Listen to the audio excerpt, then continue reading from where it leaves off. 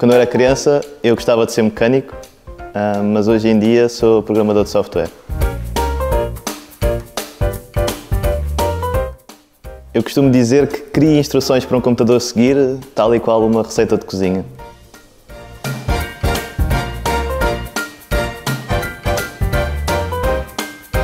Em 2021, quando estava a acabar a minha licenciatura em Engenharia Informática, decidi que valia a pena tentar um estágio de verão para ganhar alguma experiência profissional. Conheci a empresa através de, da aplicação Job Banks do, da minha faculdade, o técnico, e realizei o estágio de verão por dois meses. Gostei muito da empresa e fizeram uma proposta para ficar, desde aí que faço parte da equipa de recursos humanos.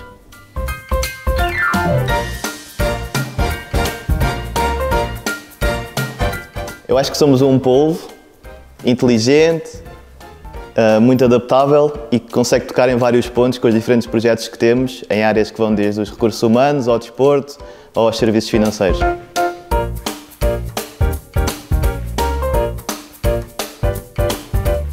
Diria mesmo que foram duas. A primeira é a disponibilidade das várias pessoas de debater ideias e ajudar os outros.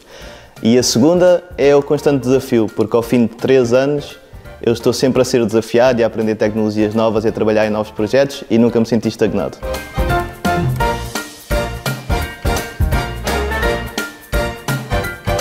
Backend.